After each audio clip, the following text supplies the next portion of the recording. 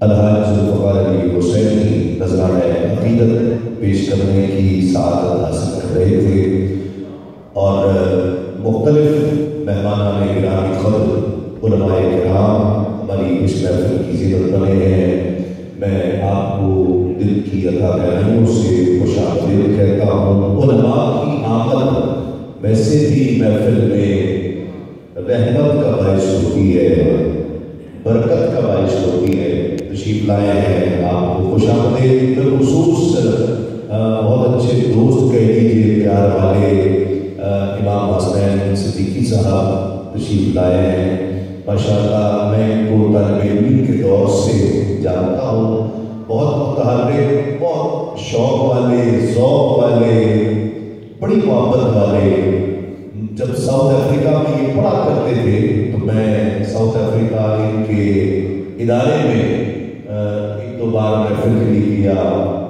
وہاں جب محفلیں ہوتی تھی تو یہ ساؤتھ افریقہ میں بھی تشریف لایا کرتے تھے محفل میں اور یہاں پر بھی ان سے ملاقات ہوتی تھی۔ تو یہ گلاسکو سے اس محفل میں شرکت کے لیے تشریف لائے میں ان کی محبت کا شکریہ ادا کرتا ہوں۔ خوش آمدید آپ تشریف لائے۔ آج کی اس محفل میں جہاں آقا علیہ السلام السلام کی ولادت کا جشن ہے۔ وہیں عیسیٰ ثواب بھی ہے۔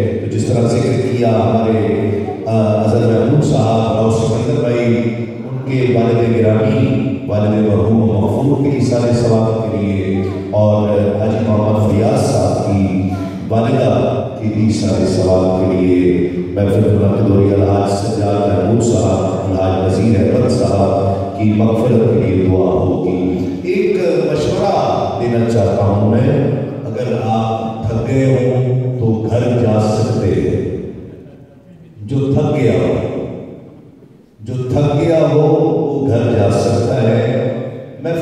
محفل گئی اس کی لیکن جو جاگ رہا ہے اور بیٹھنا چاہتا ہے اپنی مرضی سے، لیکن یہاں کوئی زور زبردستی تو کسی پر نہ کوئی کر سکتا ہے، نہ ہے۔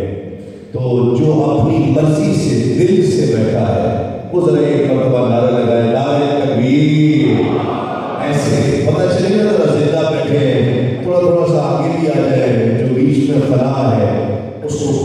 کر لیجیے مجھے دو تین کلاموں کے لیے کہا بھی گیا ہے اور خاص طور پر بھائی کہتے تھے کہ ذوالفقار بھائی آپ کے ساتھ پڑھے۔